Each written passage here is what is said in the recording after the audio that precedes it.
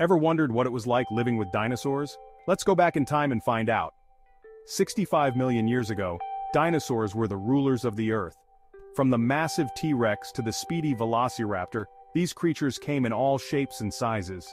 But life wasn't just about big teeth and claws, there were also gentle giants like the Brachiosaurus munching on leafy greens, the sky, full of flying reptiles called pterosaurs, and the oceans, home to monstrous sea creatures like the Mosasaurus. Plants were different too, no flowers or grass, instead, ferns and giant conifers covered the landscape but life was tough, always on the lookout for the next meal or avoiding being one.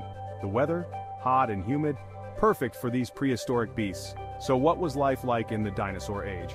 A thrilling adventure of survival, wonder, and prehistoric giants. Hit that like button if you wish you could see a dinosaur in real life, and don't forget to subscribe for more amazing history facts.